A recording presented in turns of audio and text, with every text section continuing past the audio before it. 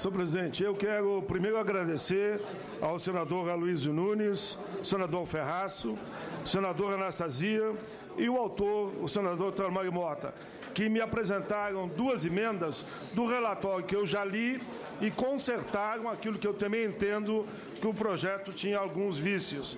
Assim, acatamos as emendas suprimindo o artigo 3 e 5 e aí o voto é mediante o exposto, opina-se pela aprovação do PLS 328-2015 com a seguinte emenda: suprima-se o artigo 3 e 5 do projeto de lei do Senado, que trata da regulamentação da profissão de educadora e educador social. Esse é o relatório, senhor presidente.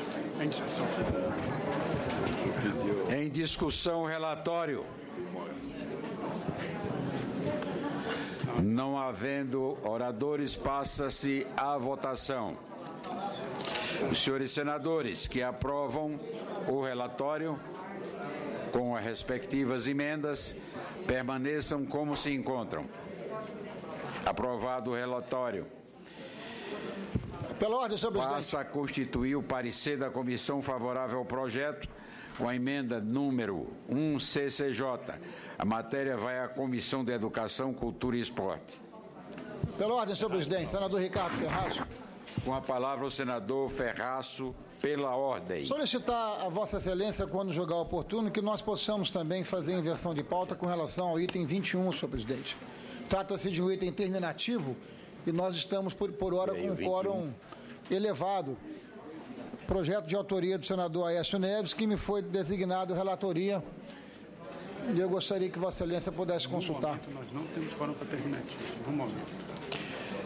O projeto é, é, terminativo e nós não temos quórum no momento para submeter esse projeto à votação. Assim que alcancemos o quórum. Mas o quórum pode. É, pode Vossa Excelência me designar a palavra. Aumentar a qualquer momento, chega. no momento que for. O próprio aumentado, senador Aécio está a caminho como é, autor da, da matéria. Pois não. Item 13, projeto de lei do Senado 276 de 2013, não terminativo, institui a política nacional de pagamento por serviços ambientais. Autoria, senador Blairo Maggi. Relatoria, senador Roberto Rocha. Relatório favorável ao projeto com 16 emendas que apresenta. Observação.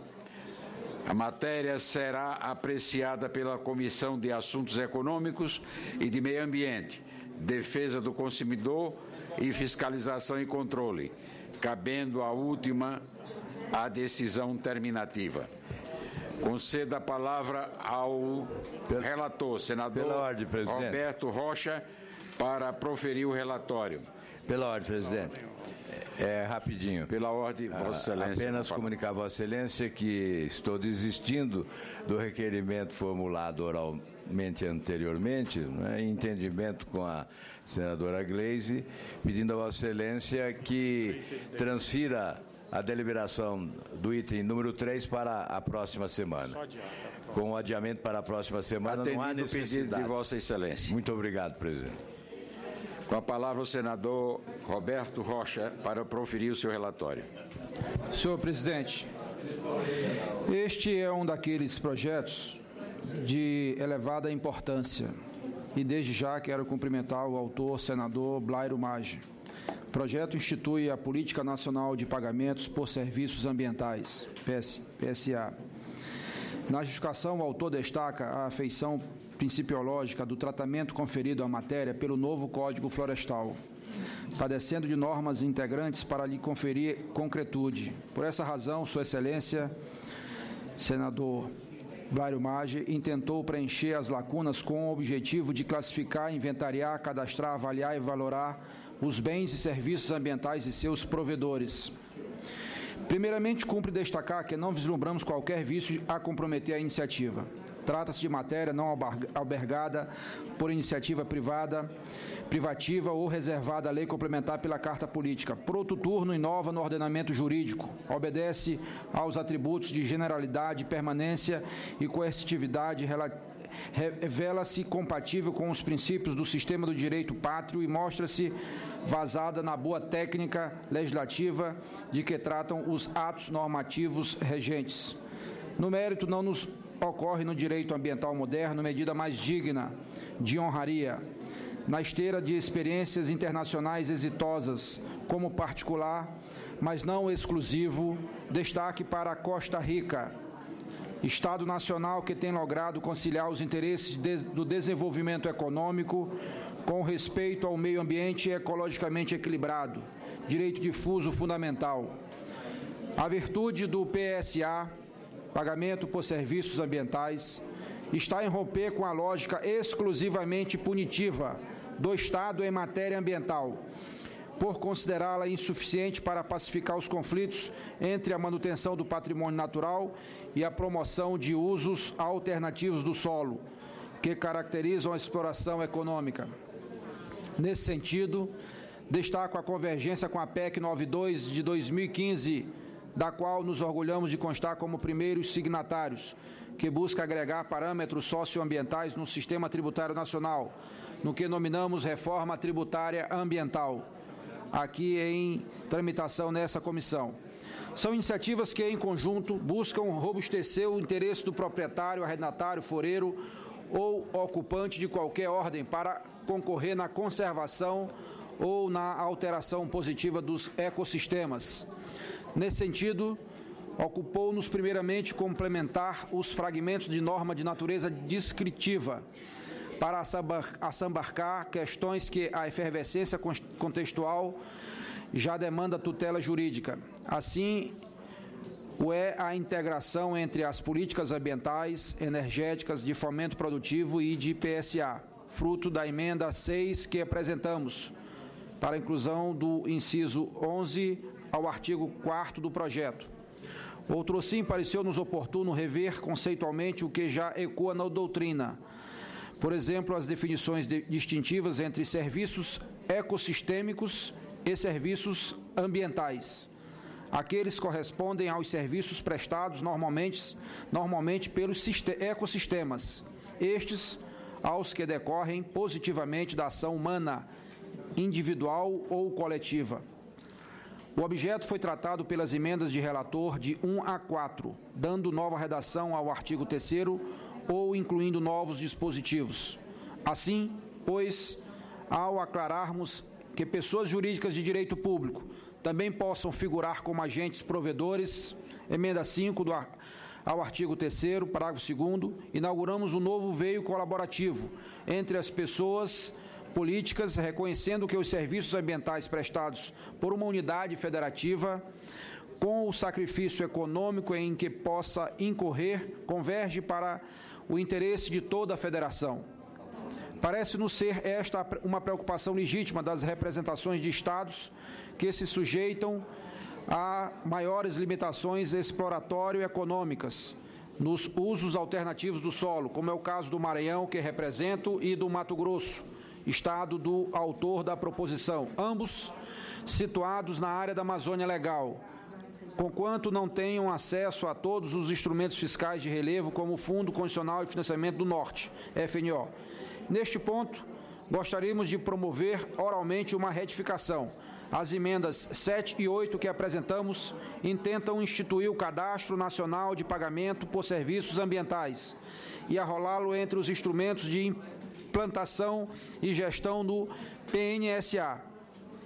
Entretanto, ao fazê-lo, referenciamos o dispositivo errado do projeto original.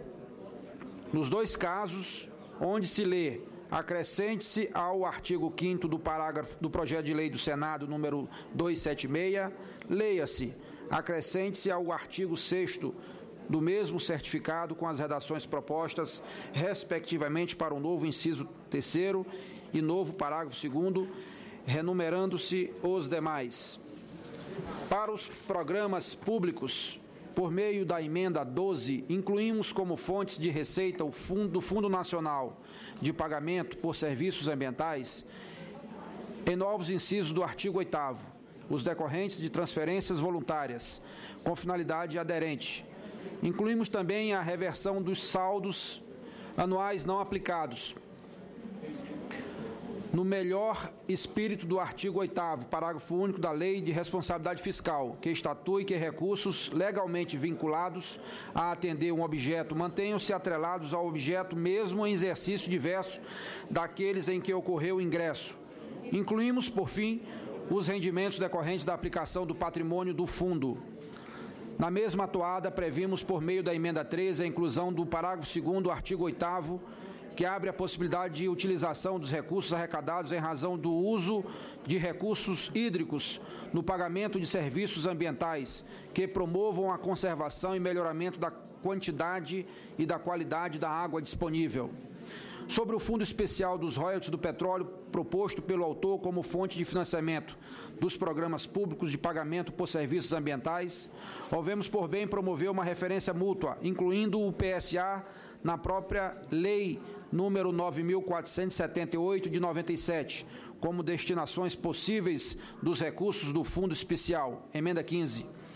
Para fomentar os programas governamentais e tendo em vista tratarmos de regras específicas de contratação para o alcance do bem comum, propusemos a emenda 16, que inclui a seleção e a contratação de provedores ou recebedores de serviços ambientais no rol exaustivo de situações dispensáveis de licitação Parece-nos óbvio, óbvio que atenda ao interesse público que os provedores de PSA sejam selecionados em razão da importância dos serviços ambientais que prestam, cabendo outro tipo de chamamento público menos formalista para a seleção, para a singular característica das prestações envolvidas. Por derradeiro, buscamos LD eventuais questionamentos sobre a compatibilidade vertical da proposta com o texto condicional, para minorar a possibilidade de veto jurídico quando da sua aprovação ou, pior, questionamento ulteriores em sede de controle concentrado, comprometendo a segurança jurídica com que buscamos regular as relações usualmente de longo termo no mercado de carbono e de outros serviços ambientais.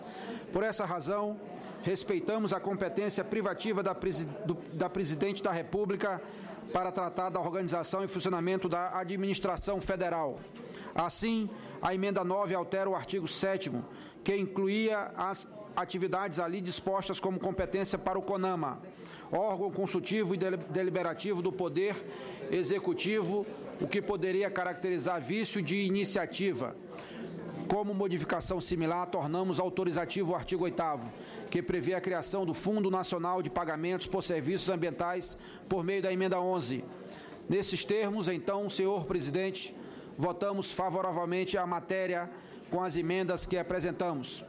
E, finalmente, queremos, nesta oportunidade, agradecer o prestimioso apoio da consultoria legislativa da Casa e da nossa assessoria do gabinete na feitura dessa peça complexa e de grande envergadura.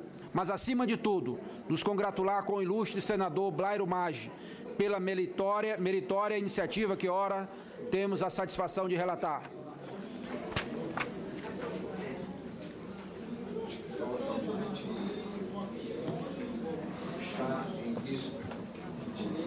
Está em discussão o parecer.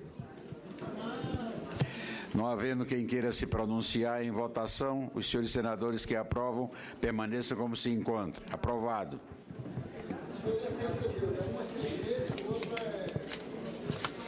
Resultado. O relatório que passa a constituir o parecer da comissão favorável ao projeto, com emendas número 1 CCJ a 16 CCJ, a matéria vai à Comissão de Assuntos Econômicos.